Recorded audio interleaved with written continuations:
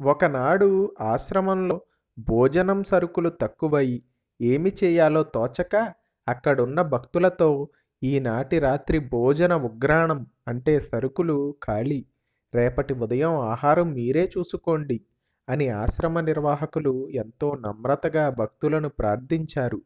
కొందరు భగవాన్ వద్ద ఊరికి పోవడానికి సెలవు తీసుకుందామని వచ్చినప్పుడు భగవాన్కు ఈ విషయం తెలిసింది. భగవాన్ లేచి కూర్చున్నారు.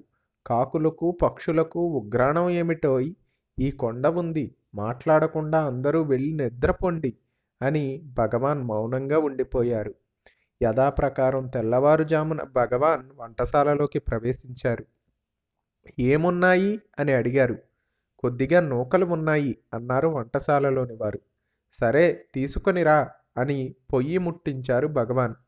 పిడికెడు నూకలు తీసుకుని శుభ్రం చేశారు. ఒక పాత్రలో వేసి బాగా కడిగారు. నీరు కాగి పొంగగానే అందులో బియ్యం నూకలు వేశారు. దగ్గరే ఉన్న అన్నామలై స్వామి నా ఒక్కడిదే నా ఒక్కడికే ఇది చాలదు. ఇలాగా ఎంతమంది తినడం? అని ఆశ్చర్యంతో కళ్ళప్పగించి చూశారు. నూకలు ఉడికి పొంగాయి. అప్పుడే ఒక భక్తుడు రెండు లీటర్ల పాలతో వచ్చాడు. ఒక పెద్ద గిన్నెలో పాలు బియ్యం చేర్చి ఉడికించారు భగవాన్. కొన్ని నిమిషాల్లో మరొక భక్తుడు కలకండ ఎండు ద్రాక్ష పళ్ళతో భగవాన్ దర్శనానికి వచ్చారు. వాటిని కూడా శుభ్రం చేసి ఒక గిన్నెలో వేశారు. ఉదయం ఆరు గంటల ముప్పై నిమిషాలకు వండడం పూర్తి అయ్యింది. ఇంతలో కుంభకోణం నుండి కొందరు భక్తులు వచ్చారు. వారు పెద్ద గిన్నెలో ఇడ్లీ వడ పచ్చడి కొండారటి పండ్లు వాటితో పాటు దొన్నెలు మొదలైనవన్నీ తీసుకొచ్చారు.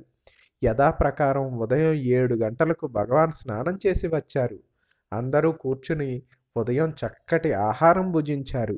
భగవాన్ తయారు చేసిన పాయసం భక్తులు తీసుకుని వచ్చిన దొన్నెలలో అందరికీ వడ్డించారు. కుంభకోణం నుండి వచ్చిన భక్తులు ఎందుకు దొన్నెలు తీసుకుని వచ్చారో వారికి అప్పుడే తెలిసింది.